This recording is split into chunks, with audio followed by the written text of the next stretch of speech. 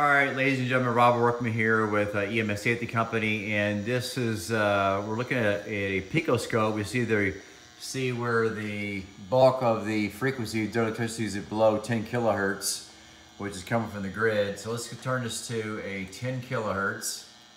And now we see the frequencies spanning through here. Oh, these are all different frequencies. See here, this is, this is about four kilohertz, seven, 9, 10, these are all around 10 kilohertz. And over here, you see the spiking. So what I'm gonna do, we got a lot of noise going. This is the little meters here showing how much electricity is in the lines. So that's the visual, that's the numbers, that's the, you can hear it. So I'm gonna plug in these filters and we'll start with um, the DNA filter and we'll see what that goes down to here. It's kind of the easiest one to watch. Oh, made a big difference. So drop there, that's gotten better, the voltage, and then uh, the, the ground floor levels dropped and some of the frequencies have dropped as well. So let's go ahead and let's drop down to 90 to 17, it was up to 162.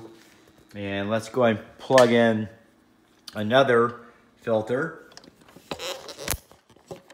And now down to a nine on the one ring wave and down to 51. You can see how it's went down there pretty well. And what I'm gonna stick, I'm gonna stick in now, I'm gonna stick in the uh, sine tamer and see all this, all the spikes are really well down. The floor level here has dropped and the frequencies have dropped some in that area. This is 10 kilohertz. Let's go and plug in the sine tamer. And